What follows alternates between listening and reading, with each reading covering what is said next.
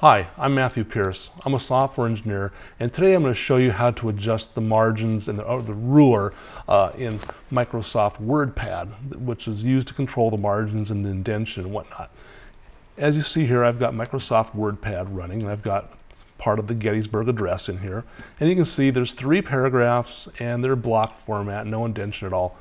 so the first thing you want to do is highlight the text that you want to affect. So you can just do that by clicking, selecting, and dragging and highlight it. Now, the ruler bar up here has got several little knobs that you can tweak to give you different effects. This knob right here adjusts how far you want to indent the first uh, sentence of every paragraph. So you can just slide that until it meets your needs. This knob down here, this big square one, well that grabs the entire everything, the, the left margin and pulls everything left and right.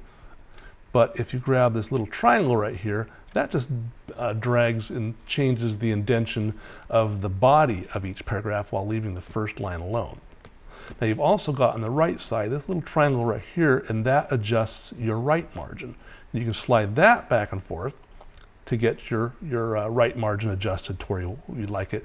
And finally, up in the numbers up here, you can click and drop. See those little kind of angle bracket looking things?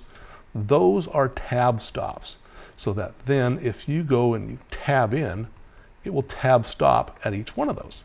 So that is how you adjust the ruler in the, uh, or the ruler bar in WordPad. My name is Mathew Pierce. Thanks for watching. Bye.